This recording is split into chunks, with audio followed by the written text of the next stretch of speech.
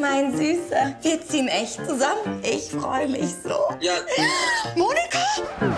Ups, ich dachte, man sieht mich nicht. Hallo, da ist die Kamera, da stehst du, das ist eine Linie.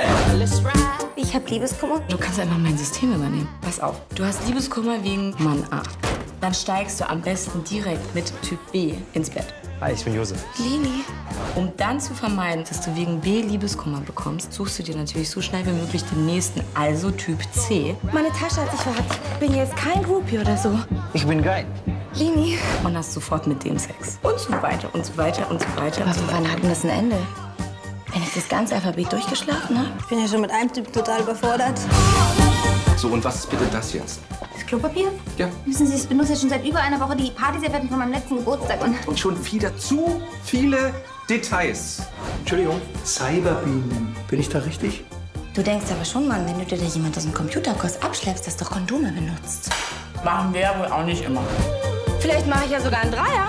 Ich bin natürlich nicht mit einem anderen Typen. Ich kann eine Freundin anrufen. Nee, aber ich will auch nicht mit einer anderen Frau. Du willst einen Dreier, aber ohne Sex mit einer anderen Frau oder einem anderen Typen. Aber was macht denn dann die dritte geschlechtsneutrale Person in deinem Traumdreier?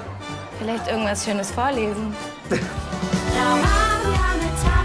Ich wollte dir nur sagen, dass ich gleich losgehe, falls du mich noch kennenlernen wolltest. Was machst du denn hier? Wir waren verabredet? Schon wieder? Sag mal, hat dir schon mal jemand den Tipp gegeben, dass das Leben nicht immer so läuft, wie man sich das vorher ausdenkt? Ist das so, sie weißes Orakel?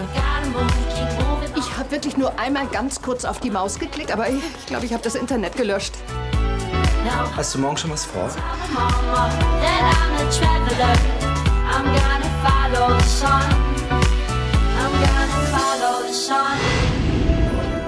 Ihr seid doch genau die unbumsbaren Arschnasen, von denen man früher nicht hat abschreiben dürfen. Follow shine.